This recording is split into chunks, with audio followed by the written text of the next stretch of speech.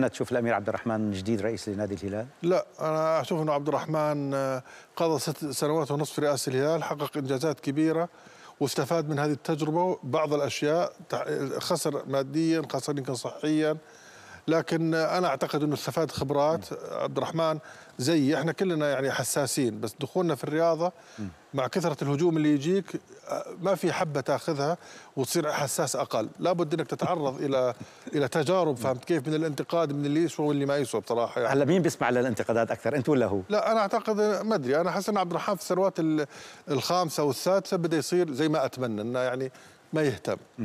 لأن يعني أنت تعرف اللي يشتغل في مجال عام الإيمج حقتك شيء يطلع هل وينزل. كان هو ضحية طموح الآسيوية؟ لا لا بالعكس عبد الرحمن سوى اللي عليه و... وأنا أعتقد إنه سوى نق... عدة نقلات في... يعني مثلا أنا أشوف إن ال- ال- اللاعب ما نبغى ندخل الآن في الرياضة المحلية كثير.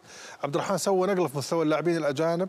يعني اللاعبين الأجانب في الفترة الأولى كانوا على مستوى عالي اللي هي فترة ريفيلينو ولاعبين منتخب تونس صحيح. العظام.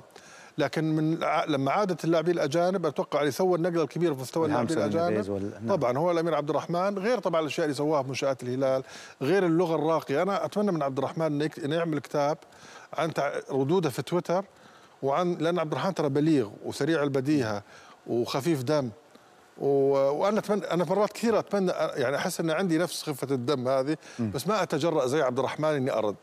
فأنا دائما ما أرد على أحد في تويتر عموماً لكن ودي بعض الأحيان إني أنت في هالزياره قربت ما قديش بعرفك من من من من 20 سنة لكن قربت منا أكثر الله أنا. أتمنى لك كل التوفيق شكراً.